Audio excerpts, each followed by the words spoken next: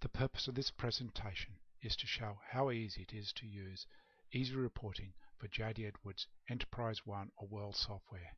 In this demonstration we're using Microsoft Excel 2010. For this example we will use the account balance function to retrieve the cash balance for Company 1. We simply click on the Insert function, select the Easy Reporting category and choose Account Balance. We enter the ledger type AA, the fiscal year, the from period, the to period. We are using company 1, then we'll do a range of objects from 1100 to 1199 and now we just press OK. Press F9 to recalculate the balance. We can now drill into the balance and see what it is made up of. We select Easy Reporting Drill Down, press OK.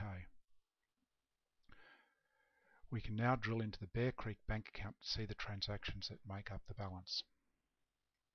We right click on the hyperlink, Easy Reporting Drill Down, OK, and we can now see the transaction details.